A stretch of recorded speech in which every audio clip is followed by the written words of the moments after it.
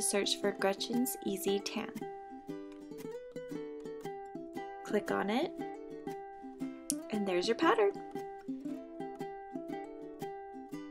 It also has the yarn listed that you need to make the tam with lots of different color options.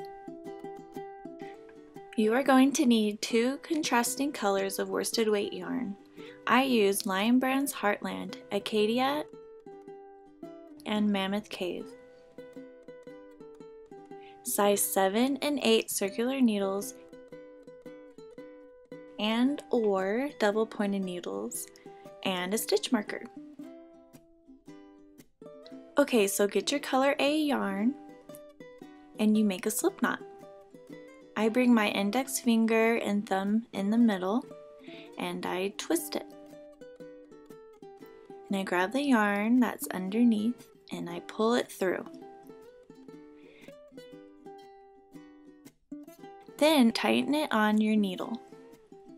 Now we need to cast on 80 stitches. So this is how I hold it. I put my index finger and thumb in between, and then I hold my tails with my other fingers.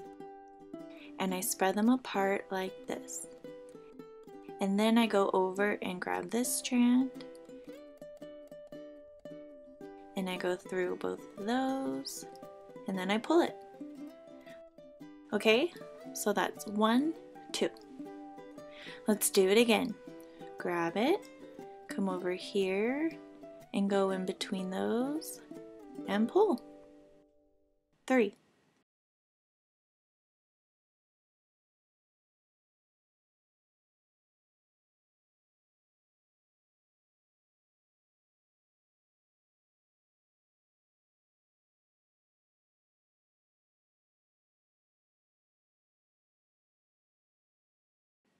And pull. Okay? so do this 80 times. Now we spread your stitches all the way across your needles.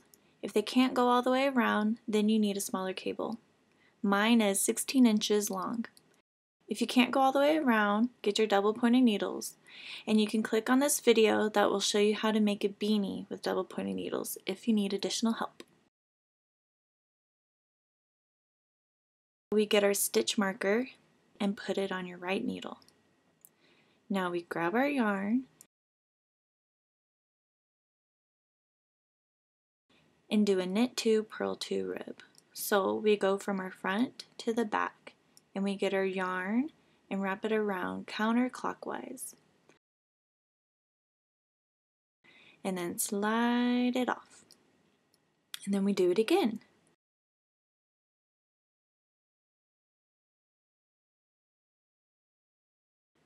Now we're going to purl, so we put our yarn in the front and we go from the back to the front. Bring our yarn around counterclockwise.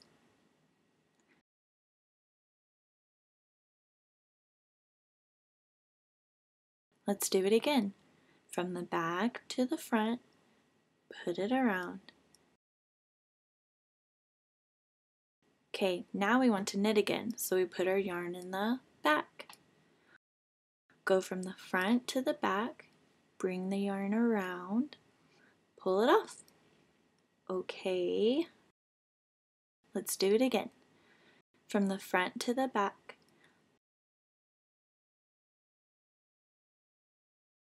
Alright, let's do purl one more time. Bring the yarn in the front. Go from the back to the front. Pull it off one more time.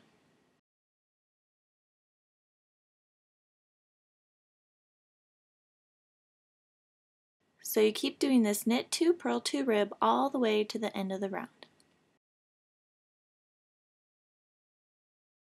I wanted to show you how to finish and start a new round. So we did our purl 2, knit 2. So our last two is purls.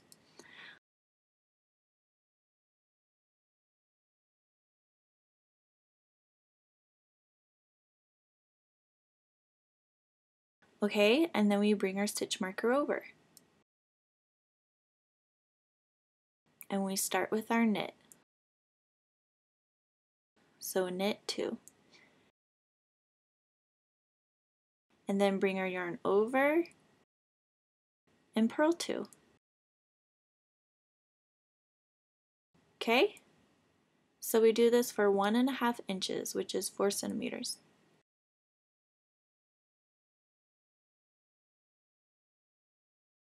All right, and I'll see you there. Now we need to change to our larger needles. So we unscrew our right needle and then we screw on our size 8 needle. Our left needle is still the smaller size, size 7, okay? And then after we knit this round, then we change this left needle. So get the stitch marker over.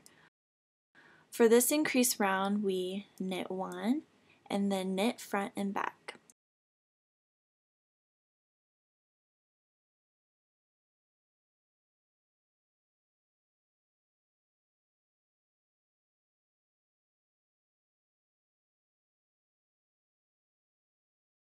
So we knit one, and then with our next stitch, we knit one, and instead of pulling it off, we go and knit it through the back. Okay? And we just keep doing this. Knit one, and then knit in the front, knit to the back. Okay? One more time. Knit one, knit through the front, go through the back.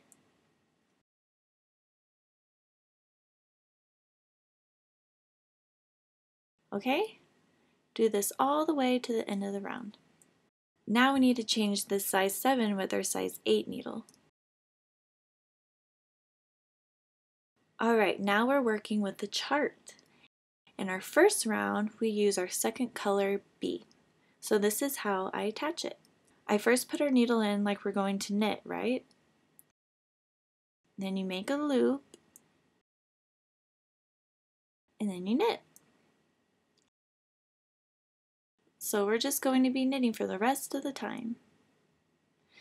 You don't have to do this, but I'm going to knit with my tail on that one so the yarn stays in place and doesn't come out easily.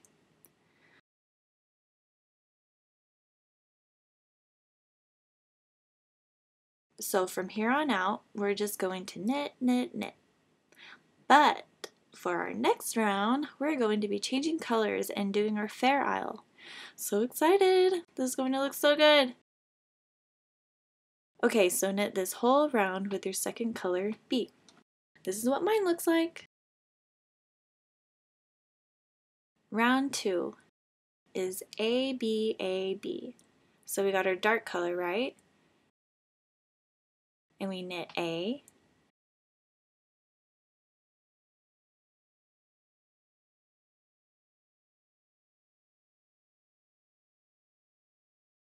and this is B okay? And then we grab this one. And see how it just goes over like that and creates a bar? A,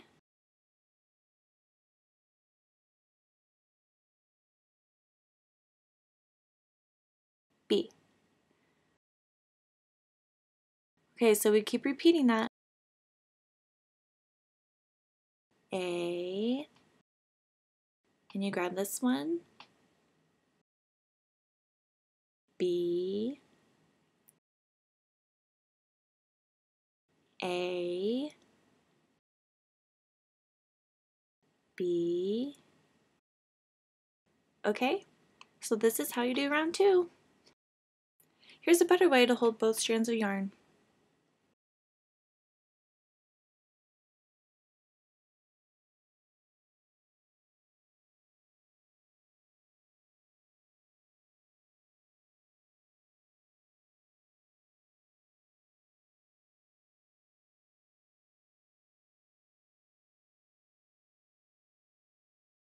Okay, now round three is just your second color B.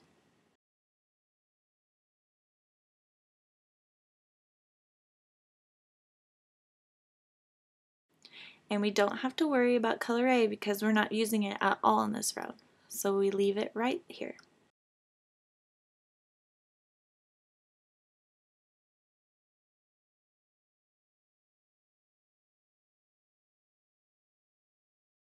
Now round four, we're going to get our color A and we're just going to knit the whole thing.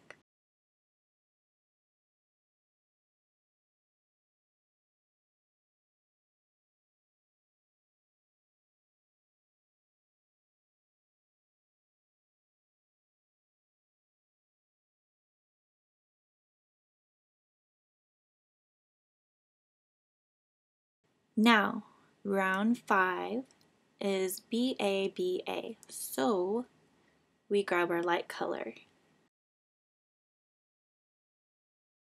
B A B A. Okay? Just like this all the way to the end.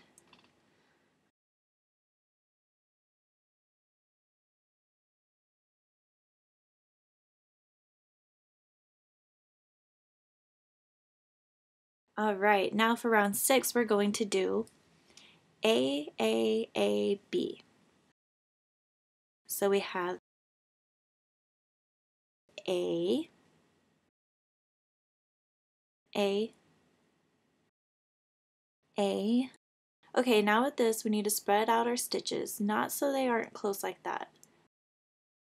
So if they're like this, that's perfect. And then we're going to get this way over here. And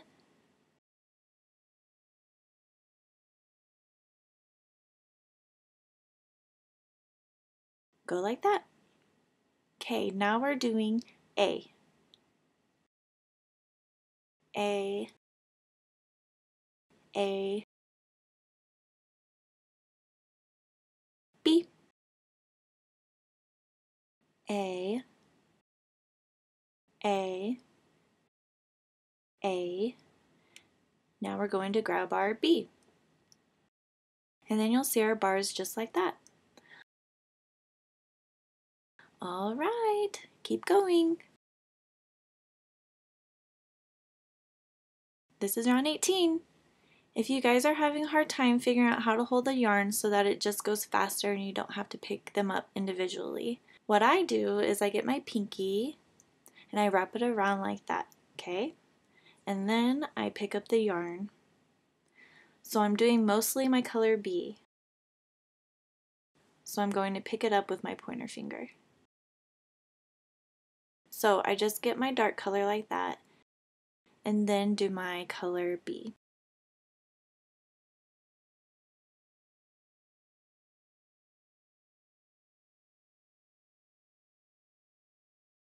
I just wanted to give you a tip, to see if that might help you. I'm starting round 19, which is all color B. But you see how my color A is over here and it's not on the end? So what I'm going to do is have the color A yarn over my color B so it catches it. Do you see that? Okay, and bring my stitch marker over.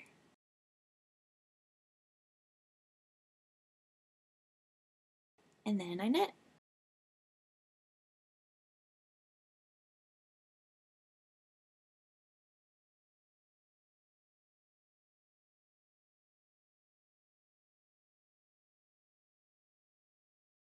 So this is what mine looks like so far, and I have done the first two rounds of the second chart. So our round three is when we do our first decrease round. So I'm going to show you how to do that, and then you'll know how to do the rest of the decrease rounds. Alright, so we do B,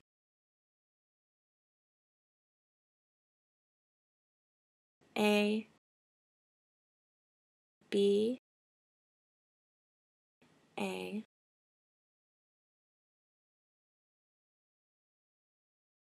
B B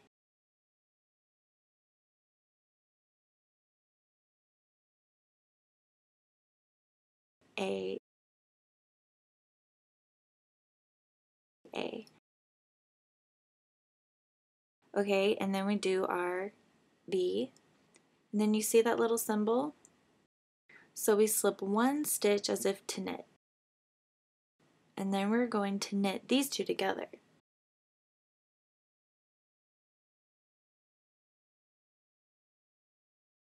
And now this stitch that we just slipped, we're going to bring it over this stitch. And that is two stitches decrease. And now we finish off the pattern. The B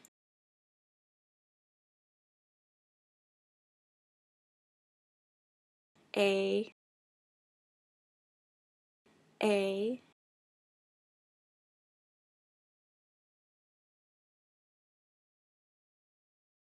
B B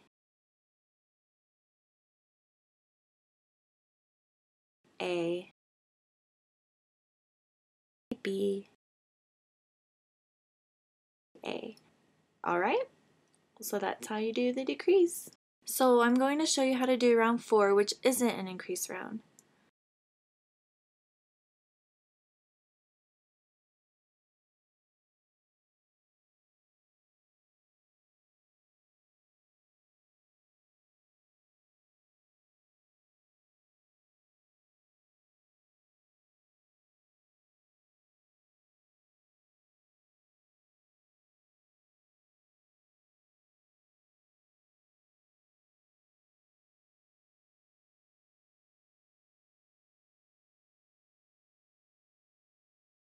Okay, so you knit this one B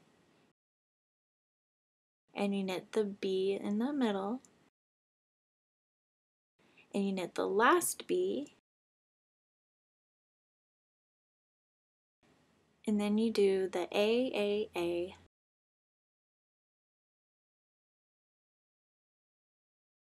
B, B. A,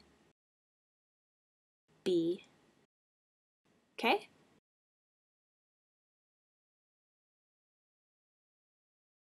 I am at round 14 and this is what it looks like so far. And it's getting a little too tight. You can either change to double pointed needles, so you get your double pointed needle and just start knitting them off from here. So you don't use this needle anymore. You use your double pointed needle and take it off this left needle. Or you can keep these circular needles and do the magic loop method. You don't need your stitch marker anymore if you're doing the magic loop method. To do the magic loop method, you need to transfer your work onto longer cable needles. And you just divide your stitches in half like this. And then you pull your needle off the stitches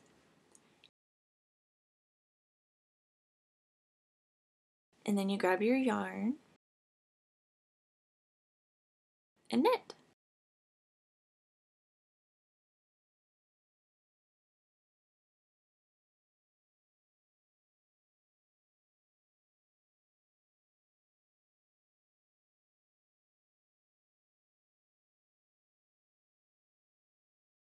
Okay, so knit all the way to here.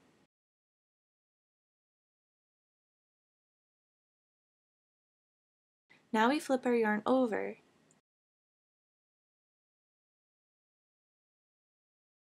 And we put our stitches back on our needle.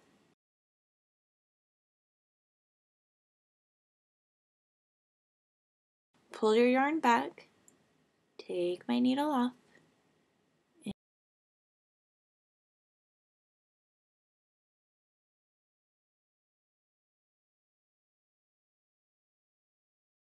and keep on knitting.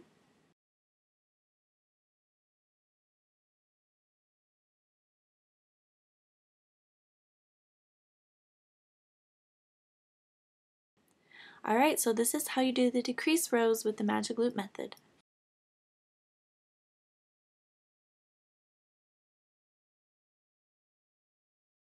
Yay! Okay, so you need to cut your yarn. So cut your gray one long enough to weave the ends. And then we need to make this yarn a little bit longer so that we can thread the tail through our last 12 stitches.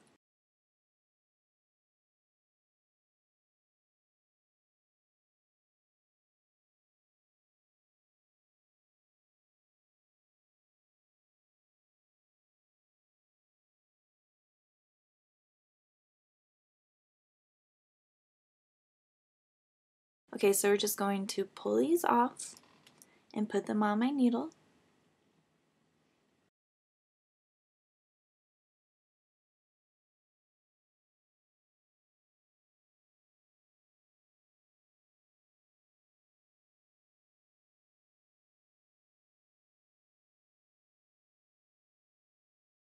and pull it. I'm going to make a knot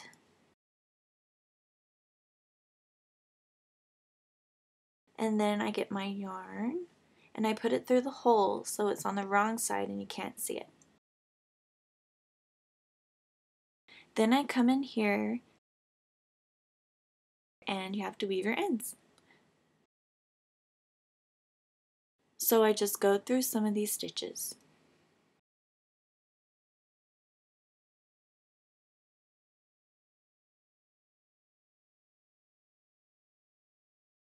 Okay, and then you cut your yarn and you're done.